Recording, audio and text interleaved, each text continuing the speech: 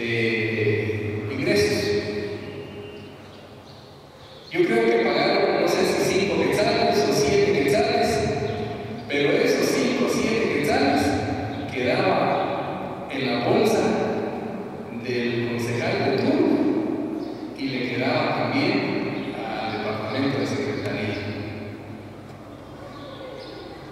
Las bodas que se hacían